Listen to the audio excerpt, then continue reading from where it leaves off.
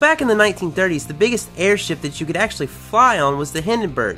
It took four and a half years and cost a total of $42 million. It was made of 14 miles of aluminum, 85 miles of steel wire, and 350,000 square feet of painted linen fabric.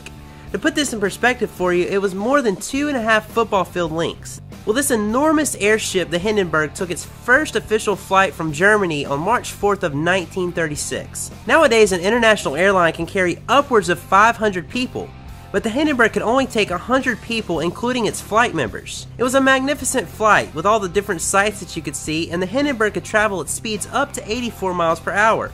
Now the crossing of the Atlantic could be done in half the time as it could be aboard a ship. At this time, it represented man's latest attempt at crossing the Atlantic the fastest, and it was successful in doing this up until just under a year of its first flight.